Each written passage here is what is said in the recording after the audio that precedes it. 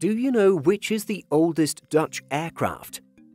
More than 200 aircraft are registered as Dutch jets around the world.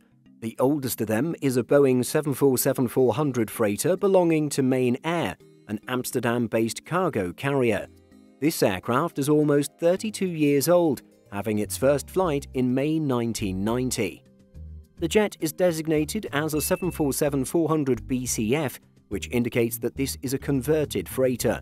That means that it was once a commercial jet and it spent 16 years serving as a passenger aircraft, flying first for Singapore Airlines, then Air India, to finally land in the Netherlands to serve its current role.